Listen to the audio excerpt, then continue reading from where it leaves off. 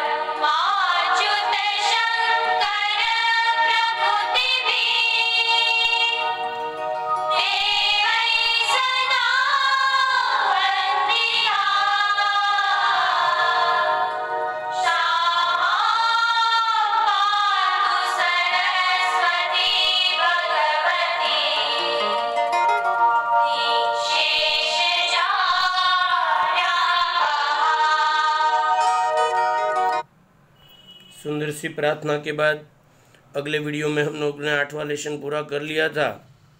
अब एक आगे का नया लेसन लेसन शुरू करने जा रहे और वो लेसन का नंबर है नौवा, पेज नंबर चौरानवे पर है। लेसन का नाम राष्ट्रीय आय।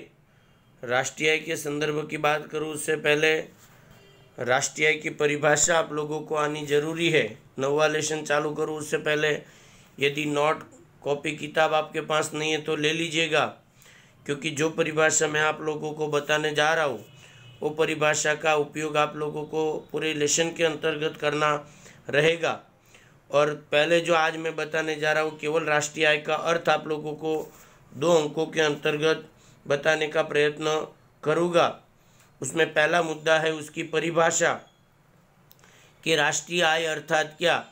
तो एक वर्ष की समयावधि के दौरान देश में होने वाले कुल उत्पादन को उनकी बाज़ार कीमत से गुणा करने पर जो मूल्य अथवा योग प्राप्त होता है, उसे राष्ट्रीय आय कहा जाता है।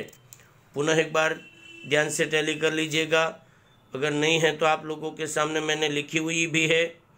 कि एक वर्ष की समयावधि के दौरान देश में होने वाले कुल उत्पादन को उनकी बाज़ार कीमत से गुणा करने पर अथवा योग प्राप्त होता है, उसे राष्ट्रीय आय कहते हैं। अर्थात परिभाषा आप लोगों की हो गई।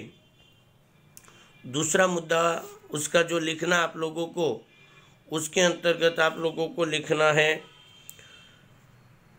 उसके बारे में मैं चालू करूँ, उससे पहले प्रस्तावना थोड़ी आप लोगों को बता देता हूँ कि राष्ट्रीय एक बृहद अर्थशास्त्र का हिस्सा है। अर्थात राष्ट्रीय कौन से अर्थशास्त्र का? अर्थशास्त्र के मुख्य दो प्रकार है। संक्षिप्त अर्थशास्त्र और बृहद अर्थशास्त्र, अर्थात सूक्ष्म अर्थशास्त्र और व्यापक अर्थशास्त्र। राष्ट्रीय के ख्याल में संपूर्ण अर्थतंत्र की आर्थिक प्रवृत्ति को मापने का प्रयास किया जाता है। किसी भी देश की राष्ट्रीय आय, उस अर्थतंत्र के कार्य का मापदंड है मतलब उसकी विशेषता राष्ट्रीय आय की, कि राष्ट्रीय आय किसी भी देश के अर्थतंत्र का मापदंड है। मतलब पहला परिभाषा आपने लिखा था। दूसरा, राष्ट्रीय आय की विशेषता, कि राष्ट्रीय आय किसी भी देश के अर्थतंत्र को मापने का मापदंड है। राष्ट्रीय आय से हम उस अर्थतंत्र की आर्थिक स्थिति का परिचय प्राप्त कर सकते हैं। यदि अर्थतंत्र की राष्ट्रीय आय बढ़ती हो तो सामान्य रूप से वह स्वच्छता का प्रतीक है। अर्थात जो देश में राष्ट्रीय आय बढ़ रही है, वो देश विकास कर रहा है। और यदि अर्थतंत्र की राष्ट्रीय आय कम हो रही तो धीरे धीरे बढ़ती है। तो अर्थतंत्र बीमार है, ऐसा भी कहा। इन शॉर्ट कहने का मतलब यदि राष्ट्रीय आय बढ़ती है तो अर्थतंत्र ठीक है। और यदि राष्ट्रीय आय घट रही तो अर्थतंत्र बीमार है, ऐसा भी कहा जा सकता है। किसी भी देश की आर्थिक समृद्धि के मापदंड के रूप में राष्ट्रीय आय का उपयोग किया जाता है। सामान्य रूप से किसी भी देश में वर्ष के दौरान श्रम, पूंजी या प्राकृतिक संपत्ति का उपयोग करके जो अंतिम वस्तुओं और सेवाओं का उत्पादन होता है, उसके बाज़ार मूल्यों को राष्ट्रीय आय कहते हैं। ये परिभाषा मैंने आपको ऊपर बता दी। पुनः एक बार राष्ट्रीय आय के अंतर्गत की बात करूँ तो एक वर्ष की समयावधि के दौरान देश में होने वाले कुल उत्पादन को उनकी बाज़ार कीमत से गुणा करने पर जो मूल्य अथवा योग प्राप्त होता है उसे राष्ट्रीय आय कहा जाता है। दूसरा मुद्दा राष्ट्रीय आय किसी भी देश के अर्थतंत्र का मापदंड माना जाता है। तीसरा मुद्दा जो आप लोगों को इसमें बनाना है कि राष्ट्रीय आय में कौन कौन सी आय का समावेश होता है। तो देखो वहाँ पर लिखा है कि जीएनपी, एनएनपी, जीडीपी और एनडीपी जीएनपी, एनएनपी, जीडीपी और एनडीपी जैसी अलग अलग संकल्पनाओं का समावेश इसके अंतर्गत किया जाता है। इनके बारे में भी बात करेंगे लेकिन जब अगला जब उसके बारे में डिटेल में आएगा तब क्या काम आता है राष्ट्रीय आय का ख्याल? तो पहला मुद्दा परिभाषा हुआ दूसरा उसकी विशेषता हुआ तीसरा उसमें कौन कौन सी आय का समावेश होता है चौथा इसका उपयोग।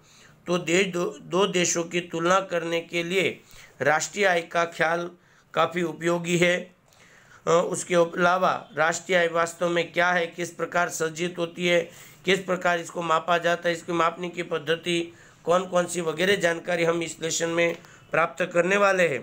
पर उससे पहले राष्ट्रीय आय का एक सामान्य अर्थ आपकी किताब के अंतर्गत दिया हुआ है।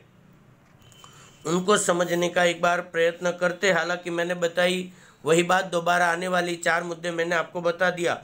परिभाषा बताई, विशेषता बताई, उसमें कौन कौन सी आय का समावेश होता है वो बताया और चौथा मुद्दा, उसका क्या काम है तो कि अलग अलग देशों के बीच में सरलता से तुलना कर सकते हैं। फिर भी राष्ट्रीय आय का अर्थ करके टॉपिक आपको चौरानवे पेज पर दिया है कि वर्ष दौरान देश में कृषि, उद्योग और सेवा क्षेत्र में जो कुल उत्पादन होता है, उसके मौद्रिक मूल्यों को देश की राष्ट्रीय आय कहा जाता है। ये परिभाषा भी आप लोग लिख सकते हैं कि एक वर्ष के दौरान देश में होने वाला कृषि, उद्योग और सेवा के क्षेत्र में जो उत्पादन होता है, उसके मूल्य को राष्ट्रीय आय कहा जाता है। जब हम कहते हैं कि भारत की राष्ट्रीय आय एक सौ अट्ठाईस लाख करोड़ रुपया है तो उसका अर्थ यह हुआ कि उसका उद्योग सेवा के क्षेत्र में एक वर्ष के दौरान 128 करोड़ रुपये की चीज़ वस्तुओं का उत्पादन हुआ मतलब परिभाषा हो गई। चार मुद्दे हुए, पांचवा मुद्दा अगर आपको लिखना है तो उसकी गणना। गणना की बात करूँ तो राष्ट्रीय आय की गणना एक वर्ष में केवल एक ही बार होती है। फिर से एक बार, राष्ट्रीय आय की गणना साल में केवल एक ही बार होती है और उनकी गणना हमेशा स्थिर कीमत पर की जाती है। मतलब पहला परिभाषा, दूसरा विशेषता, तीसरा समावेश, चौथा महत्व, उसकी गणना पांचवा, एक वर्ष में एक बार और छठा कौन सी कीमत पर इसकी गणना होती है? तो इसकी कीमत की गणना, राष्ट्रीय आय की गणना स्थिर भाव पर होती है। इसके बारे में भी आप लोगों को मैं बताऊँगा। लेकिन जब आएगा, तब राष्ट्रीय आय के अंतर्गत डॉक्टर अल्फ्रेड मार्शल अलग अलग प्रकार की परिभाषा देने का प्रयत्न करते। उन तीनों विद्वानों की परिभाषा के बारे में थोड़ा देखने का हम लोग प्रयत्न करते हैं। अल्फ्रेड मार्शल क्या कहते हैं? तो उसके अंतर्गत का मुद्दा कि अल्फ्रेड मार्शल ने उत्पादन पद्धति पर आधारित परिभाषा बताई। क्या बताई परिभाषा?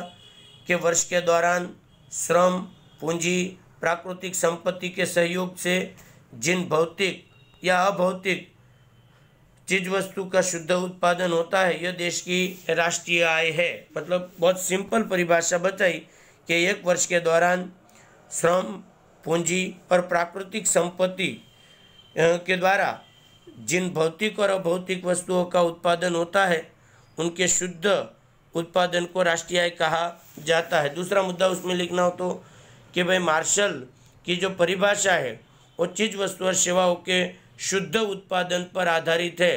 अंडरलाइन करनी हो तो कर लीजिएगा कि मार्शल ने कौन सी परिभाषा दी तो मार्शल ने उत्पादन लक्ष्य परिभाषा देने का प्रयत्न किया।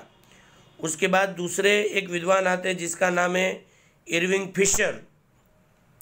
फिशर ने कौन सी परिभाषा दी? तो कोष्टक में उसका मुद्दा दे दिया, उपभोग पर आधारित। मतलब फिशर के बारे में पूछे कि फिशर ने कौन सी परिभाषा दी? तो उपभोग। उपभोग का मतलब होता है वस्तुओं का उपयोग करना। फिर भी उसने क्या परिभाषा दी? एक वर्ष के दौरान देश के नागरिकों ने जिस प्रमाण में वस्तु और सेवाओं का प्रत्यक्ष उपयोग किया हो, उस प्रमाण को राष्ट्रीय आय कहते हैं। बहुत सिंपल है।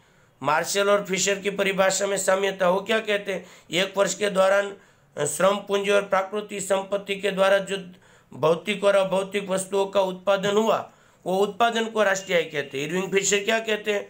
कि एक वर्ष के दौरान नागरिकों के द्वारा जिस प्रमाण में वस्तु और सेवाओं का प्रत्यक्ष रूप से उपभोग किया गया, उसे राष्ट्रीय आय कहते हैं। फिशर ने भौतिक और अभौतिक वस्तु और सेवाओं के उपभोग पर भार दिया इसलिए उसकी परिभाषा उपभोग लक्ष्य परिभाषा है। उसके बाद एक तीसरे विद्वान आए जिसका नाम है प्रोफेसर एसी पिगू। उसने क्या परिभाषा दी? तो कि मुद्रा आधारित परिभाषा दी। किस प्रकार? मैंने आपको शुरुआत में बताया, वही इसकी परिभाषा है। फिर भी राष्ट्रीय क्या है? तो कि वस्तु और सेवाओं का ऐसा प्रवाह है कि जिसका भुगतान मुद्रा के द्वारा किया जाता हो, अथवा जिससे आसानी से मुद्रा में प्रस्तुत किया जा सकता अर्थात सर, क्या कहते हैं तो कि विदेशी आय सहित समाज की कुल आय जिसको मुद्रा के द्वारा सरलता से मापा जाता हो, उसे राष्ट्रीय आय कहते हैं। अर्थात मुद्रा की परिभाषा तीन आप लोगों को दी है। मार्शल ने भी दी, पिगू ने भी दी और इरविंग फिशर ने भी दी। इन तीनों में से कोई भी परिभाषा को आप लोग परीक्षा के अंतर्गत लिख सकते हैं। और ये तीनों परिभाषा के ऊपर से राष्ट्रीय आय का जो निष्कर्ष निकलता है वो चार पाँच प्रकार का निकलता। है एक राष्ट्रीय आय, एक वर्ष की निश्चित समय में ही हुई आय की माप है। दूसरा, राष्ट्रीय आय में केवल अंतिम वस्तु और सेवाओं को ही ध्यान में लिया जाता है। तीसरा, अंतिम वस्तु और सेवाओं के मौद्रिक मूल्यों को ही राष्ट्रीय आय कहते हैं। चौथा, घिसाई खर्च को इसमें से घटा दिया जाता है या तो माइनस कर दिया जाता है।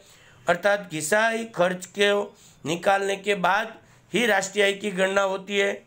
और पांचवा, वस्तु और सेवाओं का उत्पादन अथवा उपभोग होना चाहिए, अर्थात जो वस्तु का उत्पादन होता है और जो वस्तु का उपभोग होता है, उसी की गणना राष्ट्रीय आय में होती है।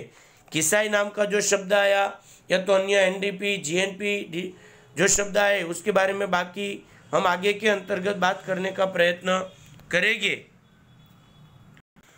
आज के लिए अंत तक वीडियो देखा, उसके लिए आप लोगों का बहुत बहुत धन्यवाद। यदि वीडियो पसंद आए तो लाइक सब्सक्राइब और शेयर करना ना भूलें। और वीडियो से रिलेटेड कोई भी जानकारी चाहिए तो मैं अर्षद जानी, संपर्क number nine eight two double five eight one five three nine.